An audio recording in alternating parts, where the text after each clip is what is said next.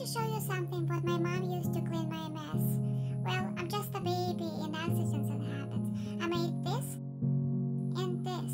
And to clean this, my mom will use this. I use Hoover portable carpet cleaner, but we need to vacuum first. First I will spray solution on a stain and wait for about 5 minutes. Then I will use this rubber brush and rub the spot for a few seconds Mm-hmm. As you can see, spot is disappeared. And spot number two, same thing.